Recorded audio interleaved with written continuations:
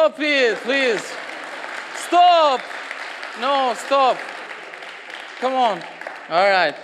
Hi, everyone. Uh, my name is Ermal Mamaqi.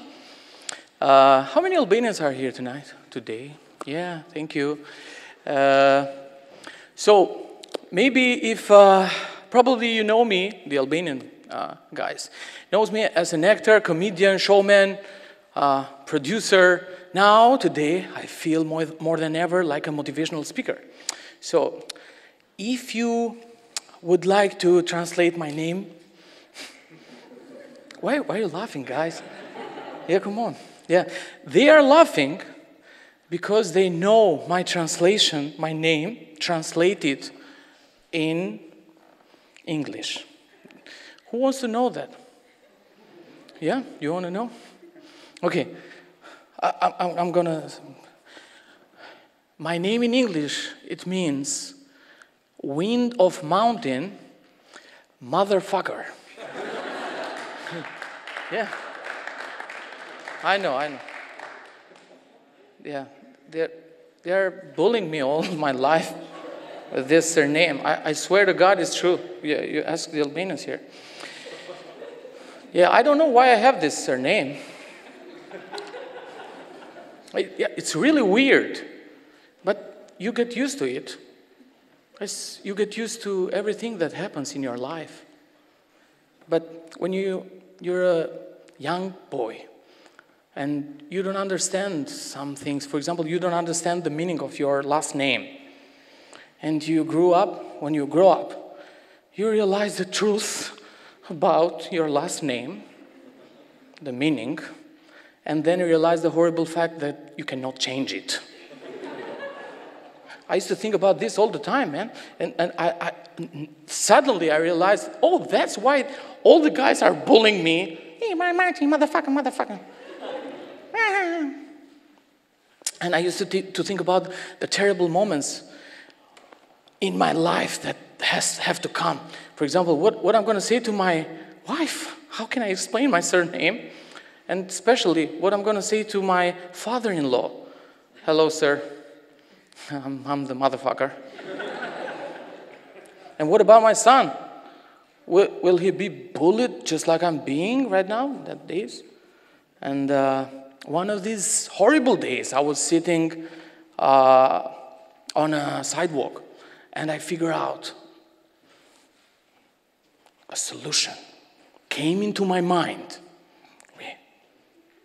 What I thought that day was about to change the rest of my life forever.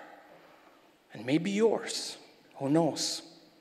Among all this pain and this negativity, a ray of light uh, entered in my mind and gave meaning to all this absurdity.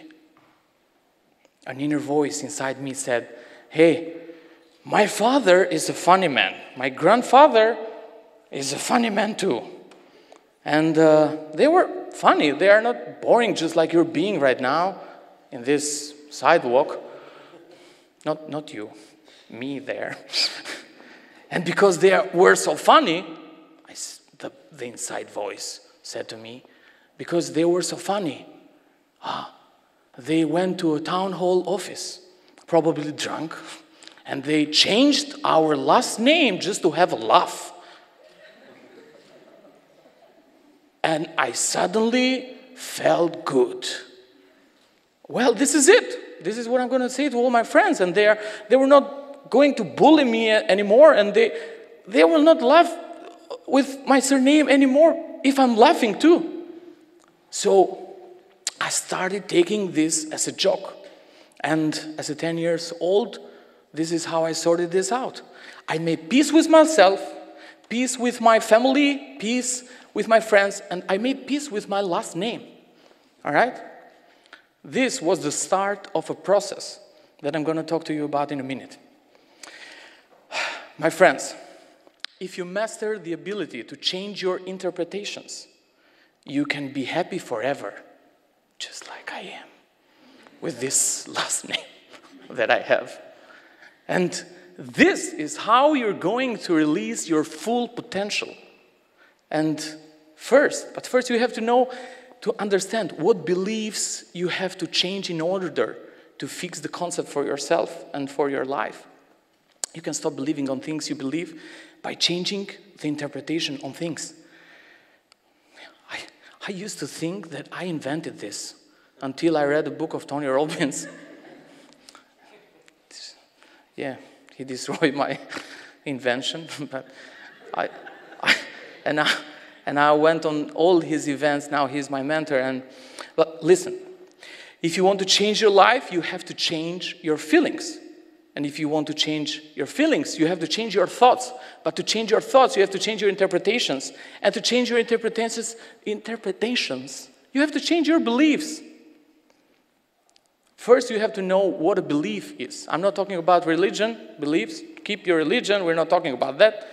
A belief is something that others put on us.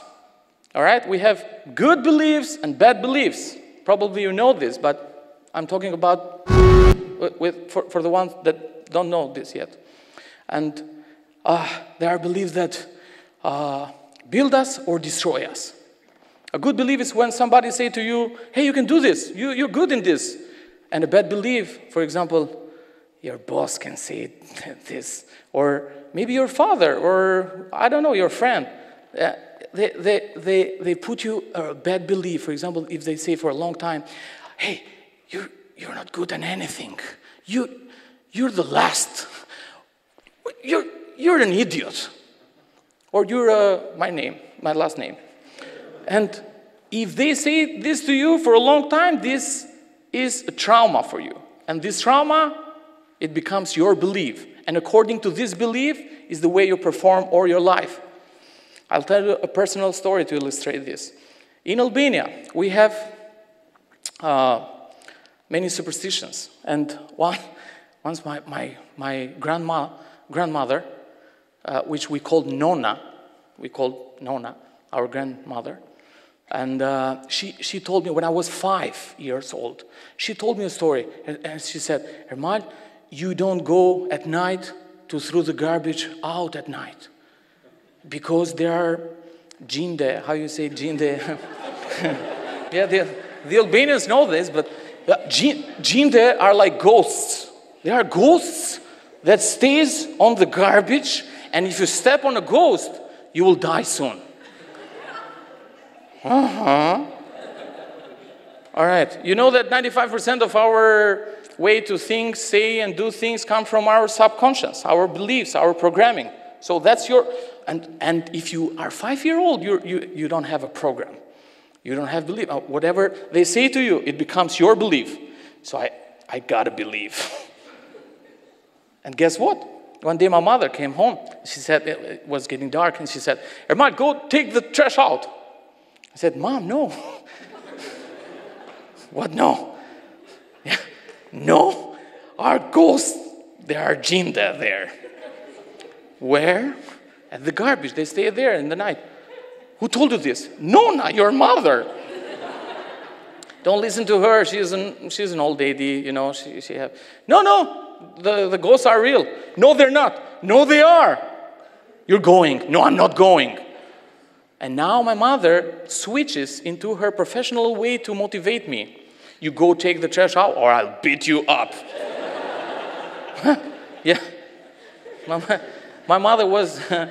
My mother was a woman of her word. yeah, and the problem is that she always over deliver. Yeah, she gave every, every time she gave more than she promised. Uh, so these are the choices that a five year old boy have to make. I have these choices to die from the ghosts or to get beaten from my mother. And sure, I choose to die from the ghosts. Who wants to get beaten? from my mother, no. So I, I took the trash and I went out. I was shaking. I was finding, I was finding the road without ghosts. and, I, and finally, I, I went there. I threw the garbage, and when I stepped back, I heard a sound. oh my God! I stepped on a ghost. I run home. I was crying, I was shaking, I was screaming. And she said, I step on a ghost. I told you there were ghosts there. No, they're not. There were ghosts. I, I heard I step on it. Trust me. Now I'm going to die. That's what Nona said. No, you're not. Yeah, this is funny. Or no. yeah, this is funny. But back that, that days, it was a horrible thing. Three days in a row, I couldn't sleep. And you know, they, they, I, I, was, I was sick. I was crying every day. I, I woke up and I said, well, am, am I dead? And they brought me Nona. And Nona said, Hey, there are no ghosts. Yeah, right. yeah. What about yesterday? What? what? Bring the ghost here. Let's, let's talk to the ghost. If, if, the ghost said we're cool, I'm fine. yeah. So a few years later, I grew up and I realized that Nona wasn't really thinking straight when she told me that. And so what happened? I changed the belief. All right? Because I realized that ghost doesn't exist. So ghosts do not exist.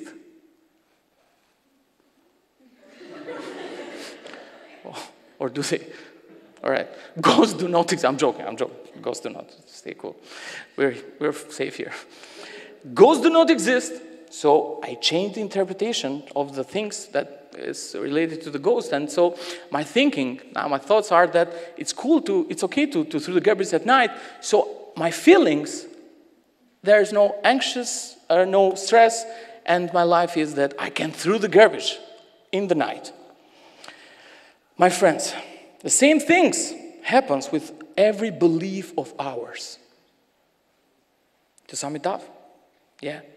We created our life, but our beliefs. And our beliefs are the things that they put on us. So if you want to change your life, you have to change your limiting belief that is blocking you. Ah, somewhere, somehow, someone has put in you a limiting belief that is blocking you. Maybe, uh, for example, you did something bad in the past. So what is your limiting belief? Everyone have a limiting belief that is blocking. What is your limiting belief? You, maybe your limiting belief is that you did something uh, wrong in the uh, past, so you cannot forgive yourself. But let me tell you that the person that did that is not you. If you were you now, you could not do that. And uh, we, not, we don't forgive ourselves. We did something wrong and we don't let it go. So that belief is that we are what we did. Yes, I am. I did that. I am like that. You know, some people, I'm, I'm sorry, I'm, I'm, I'm taking just an example, not, not so cool example, but some people go to the toilet. And they go to the toilet and they finish what they have to finish, and they get out and press the button, and they flush, and they go. But some, some other, they go to the toilet, and they do what they do, and they get out, and they see.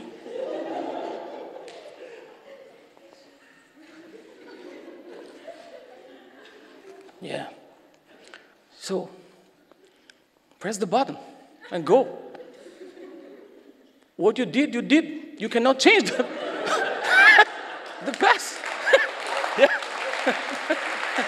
yeah. Let it go.